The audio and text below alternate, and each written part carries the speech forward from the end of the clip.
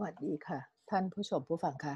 เรามาอ่านสารสมเด็จกันต่อนะคะ ยังอยู่ในเล่มที่หนึ่งระหว่างพุทธศักราช 2457 ถึง พุทธศักราช 2465 ตอนนี้จะเริ่มต้นฉบับที่เป็นพุทธศักราช 2460 ค่ะ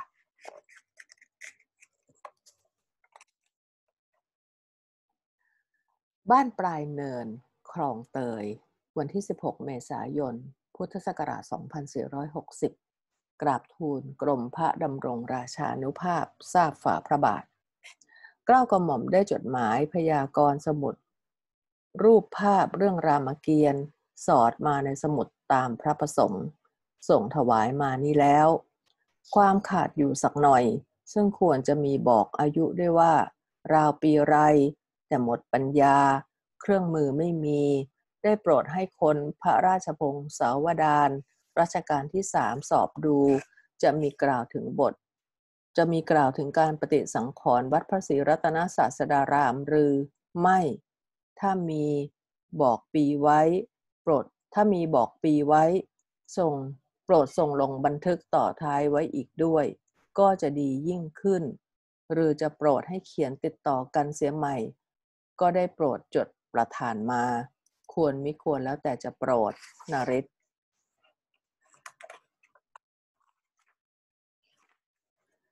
สมุดรูปภาพเรื่องรามเกียรติเล่มนี้ รู้ได้ว่าเป็นร่างเทียบสำหรับเขียนพระระเบียงวัดพระศรีรัตนศาสดาราม ด้วยมีหนังสือจดหมายไว้ตรองตอนอาสา แลสั่งเมืองว่า ข้างประตูฉนวนด้านตะวันตกถึงมุมสามห้อง แต่การเขียนพระระเบียงนั้นได้เขียนมาถึงสามคราว คือในรัชกาลที่สามคราวหนึ่งรัชกาลที่ห้าสองคราว สมุดร่างเทียบนี้จะเป็นสำหรับคราวไหนพิจารณาดูฝีมืออันเขียนไว้สำสอนในสมุดนี้ เป็นเส้นดินสอเดิมของผู้ร่างก็มี เป็นเส้นฝุ่นเดิมของผู้ร่าง เลือกเขียนเล่นแต่ตรงที่ชอบจะเขียนก็มี เป็นเส้นฝุ่นฝีมือเด็กแรกหัด พยายามที่จะลงเส้นก็มี แลภายหลังสมุดได้ถูกลอก ได้ถูกละอองฝน แลภายหลังสมุดได้ถูกละอองฝน เพราะเก็บไม่ดี เส้นลบเลือนไป ยังมีคนไม่เป็นซ่อมเส้นฝุ่น แล ลากรอยเส้นดินสอ เสียบ้างอีกซ้ำหนึ่งด้วย แต่ถึงกระนั้นก็ยังรู้ได้ว่าเป็นฝีมือช่างในรัชกาลที่สามร่าง เพราะเขา เพราะเขาไม้เป็นท่วงทีอย่างจีน บ้านเมืองเจือเก๋งจีน ปราศาสตร์ก็เป็นอย่างวิมานล้วนเป็นความนิยมสมัยนั้น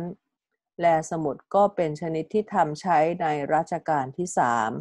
น่าจะเป็นสำหรับเขียนคราวแรกในรัชกาลที่สามแต่ไม่แน่แก่ใจ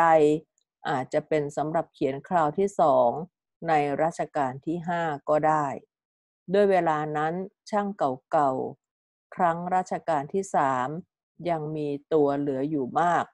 อาจจะมาเป็นนายงานระร่างกะให้เขียนก็ได้ แต่คราวหลังครั้งรัชกาลที่ห้านั้นไม่ใช่เป็นแน่ เพราะคราวนั้นข้าพเจ้าทันเห็น พระอาจารย์ลอย วัดสุวรรณาราม พระอาจารย์แดง วัดหงรัตนาวัดหงรัตนาราม พระอาจารย์ยม วัดราชบุรณะกับนายรอดเป็นผู้ร่างทั้งสี่ชื่อนั้น ผู้ใดจะได้มีเทียบมาร่างหามิได้เลย คิดเอาที่ ผนังนั่นเองสำเนาทางดำเนินเรื่องก็ไม่เหมือนในสมุดนี้ แลฝีมืออาจารย์ทั้งสี่นั้นข้าพเจ้าจำได้ ไม่ใช่ที่เขียนในสมุดนี้ ในการที่จะพยากรณ์ให้แน่ว่าสำหรับเขียนครั้งไหนนั้นข้าพเจ้าลำลึกได้ว่า ช่างที่ได้เขียนคราวที่สองยังมีตัวเหลืออยู่ คือพระภิกษุศิล วัดละคังโคสิตาราม กับหลวงเพศ หลวงเพศสวกรรมเล็กในวงเล็บเล็ก จึงได้ไปถามดูได้ความว่าครั้งนั้นหลวงหัตถกิจบรรหารในวงเล็บบุตร เป็นนายงาน หลวงหัตถกิจคนนั้นเขียนไม่เป็น เป็นแต่มาพูดกับช่างกำหนดว่า ห้องนี้เขียนเมื่อนั้น เหมาราคาเท่านั้น ช่างก็ร่างและเขียนตามชอบใจตนเอง ของใครก็ของใคร เรื่องจะต่อกันสนิทหรือไม่สนิทก็ตามแต่จะเป็นไปกำลังเขียนอยู่นั้นนายงานก็มาตรวจติบ้างอย่างเคล้าๆเช่น ช่างเขียนคนหนึ่ง ชื่อในตุ้ย เขียนปราสาทเป็นอย่างวิมานแบบเก่า เช่นในสมุดนี้ก็ถูกติให้ลบแก้ ในที่สุดช่างไม่ค่อยจะได้เงินค่าจ้าง เลยเลิกค้างเขียน แล้วแต่สักครึ่งเดียว ความเหลวไหลเป็นไปถึงป่านนี้ เพราะเหตุนั้น ในการที่จะพยากรณ์สมุดนี้ ก็เป็นอันจะมีผิดไม่ได้ เป็นร่างเทียบสำหรับเขียนพระระเบียงวัดพระศรีรัตนศาสดารามครั้งแรกในรัชกาลที่สามเป็นมั่นคง จดหมายบันทึกไว้ณวันที่ 16 เมษายน พุทธศักราช 2460นริศหอสมุดวชิรยานกรุงเทพวชิระนาน National Library Bangkok ท่านใช้คำว่าวชิระนานานะคะเนี่ย คือ N A N A แต่ว่ามีขีดข้างบน วันที่ 27 เมษายน พุทธศักราช 2460 ทูล สมเด็จเจ้าฟ้ากรมพระนริศรานุวัติวงศ์ เรื่องเครื่องโต๊ะโรงพิมพ์เรียงมาถึงการตั้งโต๊ะแล้ว จวนจะถึงตอนที่ถวายทรงตรวจอยู่นั้น อันหนึ่ง หม่อมฉันขอส่งตอนพระราชบัญญัติเครื่องโต๊ะมาถวายอีกตอนหนึ่ง ควรไม่ควรแล้วแต่จะโปรด ดำรงราชานุภาพ วันที่ 28 เมษายน พุทธศักราช 2460 กราบทูลกรมพระดำรงราชานุภาพทราบฝ่าพระบาท เรื่องว่าด้วยเรื่องว่าด้วยคุมเครื่องโต๊ะ แลว่าด้วยกรรมการตรวจโต๊ะ ซึ่งประธานมาตรวจตอนนี้มีแห่งที่จะพึงทักท้วงได้น้อยเต็มที ดังจะกราบทูลต่อไปนี้ หน้าห้าหน้าสี่สิบห้าคำแปลยงว่าม้ากลมขาคูนี้ไม่ค่อยพอใจเลย ดูหน้าตามันไม่เหมือน มันไม่เหมาะที่จะเรียกม้า ม้านั้นควรแก่รูปเหลี่ยม มีขาสี่สันฐานดังม้าเป็นๆใช้สำหรับแปลกี้เป็นเหมาะทีเดียวสำหรับแปลยงนึกคำถวาย ใหม่ไม่ออก สิ่งที่รูปคล้ายเช่นนี้ มีที่รองถาด ล้างหน้าของโบราณ แต่เขาก็เรียกว่ายอง หรือยงเสียเหมือนกัน คนทุกวันนี้ก็ไม่รู้จัก เพราะถาดล้างหน้าเดี๋ยวนี้ ขามันติดในตัวเสียแล้ว ถ้าจะแปรยงเรียกว่า แป้นขาคูจะเป็นอย่างไร พุ่งถวายเผื่อเลือก หน้า53คุณใบ้นั้นมีชื่อชื่อเชย แต่ไม่มีใครเรียก เลยออกจะไม่มีใครรู้จักชื่อ บอกชื่อลงไว้ด้วยจะดีกระมัง ว่าได้คุมโต๊ะ ขาคำอึดทึดอยู่คำหนึ่ง ยังไม่ได้ใช้ นึกได้จึงทูลมาตามพระประสงค์ อันหนึ่ง การจัดโต๊ะนั้นก็เป็นข้อใหญ่ ซึ่งกินแต้มเจ้าของโต๊ะและกรรมการมากเหมือนกัน เช่น บรรจุผิดหรือเอาของสำหรับอวดมงคลมาใช้ในงานมงคล โทษทีสำหรับเอาของอาวะมงคลมาใช้ในงานมงคลเป็นต้น ยังไม่ได้ทรงกล่าวถึงเลย จะทรงลืมหรือตั้งพระไทยจะกล่าวไว้ในตอนอื่นก็ไม่ทราบ ทูลพักไว้เผื่อทรงลืมจะได้ทรงเรียบเรียงเติมขึ้น เพราะเป็นประโยชน์ที่ควรรู้อย่างหนึ่งเหมือนกัน ตอนพระราชบัญญัติซึ่งโปรดประทานมาใหม่ได้รับแล้ว จะตรวจส่งมาถวายต่อไป ควรไม่ควรแล้วแต่จะโปรดนริศบ้านปลาย บ้านปลายเนินคลองเตย วันที่ 3 พฤษภาคม พุทธศักราช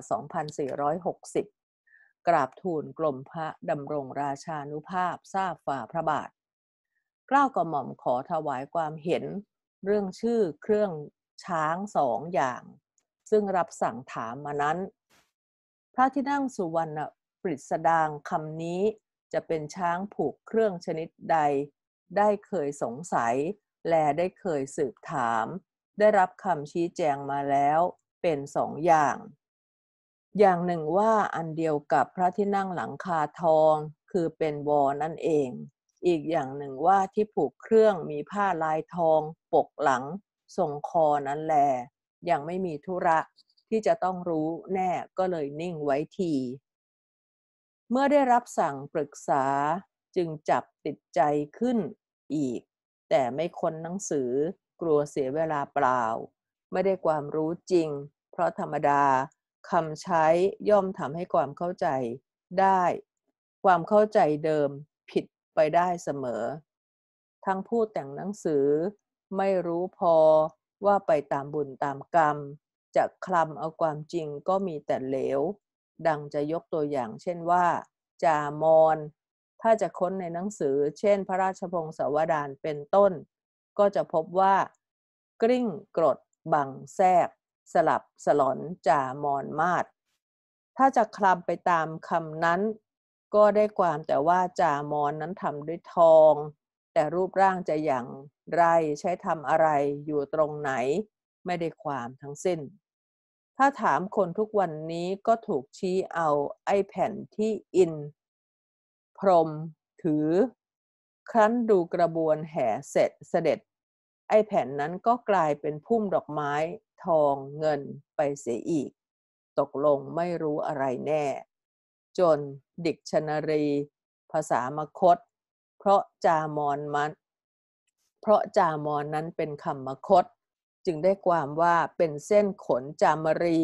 สำหรับปัดแมงวัน มันคลาดเคลื่อนไกลดังนี้ ที่แท้ไอแผ่น ไอแผ่นที่อินพรมถือที่จะเป็นบังแทรกสำหรับช่วยบังศูนย์จามอนแต่ก่อนเห็นจะใช้ในที่พัดโบก เพราะมีเหตุคลาดเคลื่อนอยู่อย่างนี้ จึงไม่ใคร่วางใจเชื่อหนังสือ แต่งแลคำบอกเล่า ชอบจะคิดเอาเองตามธาตุของคำนั้น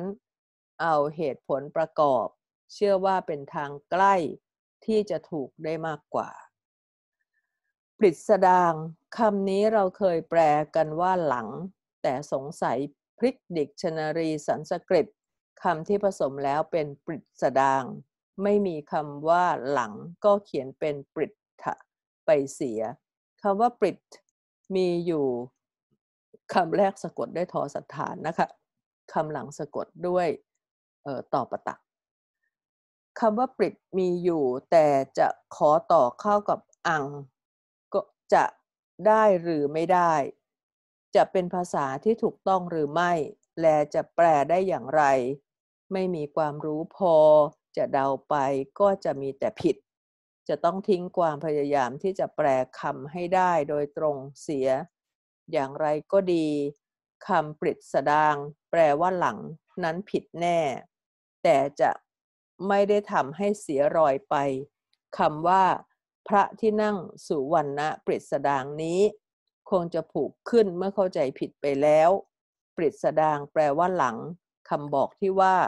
พระที่นั่งสุวรรณปรตสดางเป็นเครื่องลาดผ้าบนหลังนั้น เข้าทีหนักหนา ผ้าปูหลังนั้นถ้าไม่สำหรับนั่งจะลาดทำไม ชั้นแรกเจ้าคงนั่งกลางบนผ้านั้น ให้หมอ ให้หมอควานเขาขับไป ถึงจะรบก็ได้เป็นไรมี ก็เหมือนรบบนรถซึ่งมีสารถีขับ ฉะนั้น ช้างดั้งที่มีคนถือเศร้าเศร้าสอเสือสระอาวแวนไม่โท ขี่กลางก็ยังมีใช้มาจนชั้นหลังนี้ ที่หลังเห็นนั่งไม่สบาย จึงคิดทำวอขึ้นนั่ง แลมา แลรบก็เห็นจะถนัดขึ้นด้วย เพราะที่นั่งสูงขึ้น ไม่กีดหัวหมอ การที่เจ้าออกขี่คอนั้นเห็นจะมาแต่อย่างทรงสปอร์ต มีคล้องช้าง เล่นเสือเป็นต้น เป็นต้นก่อน ครั้นเห็นว่า ขี่คอทำอะไรได้คล่องใจ จึงกลายเป็นเจ้าขี่คอ เอาคนที่ถูกพระไทยขึ้นกลางช้าง ให้รักษาอาวุธคอยส่งเปลี่ยนใช้ตามช่องที่ต้องการ และช่วยรบก็ได้ ถ้าควานตายแทนควานได้ด้วย เครื่องพระคชาคชาทานที่ปักฉัดนั้นเกะกะเหลวไหล เห็นจะคิดขึ้นใหม่ ๆสำหรับ แห่เล่นงามๆเท่านั้น รูปเขียนเรื่องต่างๆ ที่มีรบก่อนยุครัชกาลที่ห้านึกไม่ออกว่าจะเคยพบที่เขียนฉัดปักบนสะประครับมีที่ไหน คิดดูเห็นว่าถ้าผูกเครื่องพระคชาทานอย่างทุกวันนี้เข้ารบเป็นต้องแพ้คนที่ผูกแต่เครื่องมั่นเป็นแน่ เพราะเกะกะแลหนัก ทำให้ช้างเล่นเลี้ยวไม่คล่อง ถึงหากจะขืนขับเล่นเลี้ยวไป ทีแรกฉัดจะต้องหักสะบั้นไปก่อน และอีกไม่ได้เท่าไรจับประครับก็จะลงมาห้อยอยู่ใต้ท้องทำให้ช้างเดินไม่ได้ เขาก็เลือกฟันเล่นตามสบายตายเท่านั้น เชื่อว่าที่รบกันมาแต่ก่อนใช้ช้างหลังเปล่าเป็นแน่ กลางช้างก็อย่างช้างดั้ง อย่างช้างดังนั่นแหละคชาทานแปลว่าช้างส่งซึ่งจะไม่ผูกสับประคับปักฉัด ก็เรียกได้ไม่ขัด พระที่นั่งหลังคาทองนั้น ตรงด้วยวอเป็นแน่แท้ จะเป็นกูบไม่ได้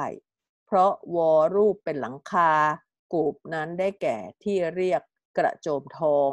คำว่าปริศดางนั้น เราเคยเข้าใจกันแต่ว่าหลังไหลหรือเบื้องหลัง ไม่เคยใช้ในที่เป็นหลังคาหรือเพดาน เพราะฉะนั้น พระที่นั่งสุวรรณปริศดาง เชื่อว่าคำบอกที่ว่า เป็นช้างผูกเครื่องมีผ้าปูหลัง นั้นเห็นจะถูกแน่ พระที่นั่งละคอคำนี้คอนี้เป็นคอคอคอคนนะคะ คือคอควายหัวแตกเนี่ยนะคะ พระที่นั่งหลักคอคำนี้เป็นภาษาไม่ดี ทรงช้างไม่มีหมอขี่คอไม่ได้ ถ้าทรงคอเป็นหมอเองก็ไม่ได้ละคอคำนี้เกิดจากคำขี่ละคอ ซึ่งต้องขี่วิธีนั้นเมื่อเอาช้างเข้ามา ประจำเกยคอยรับเสด็จ เป็นการที่บังคับช้างยากผิดกว่าปกติ จึงเป็นข้อที่คุยอวดดีกันว่าขี่ละคอได้ ภายหลังเห็นเก๋หนักขึ้น จึงเลยอวดดีเอาขี่แห่โดกเด็กไปตามถนนหนทางไกลๆ กลายเป็นพระที่นั่งละคอมีเกิดขึ้น ผู้รู้จะมีความจะมีความรำคาญใจเห็นว่าเป็นภาษาไม่ดีดังกล่าวมาแล้วนั้น จึงเรียกแก้เสียใหม่เป็นพระที่นั่งแท แท้ลองสอ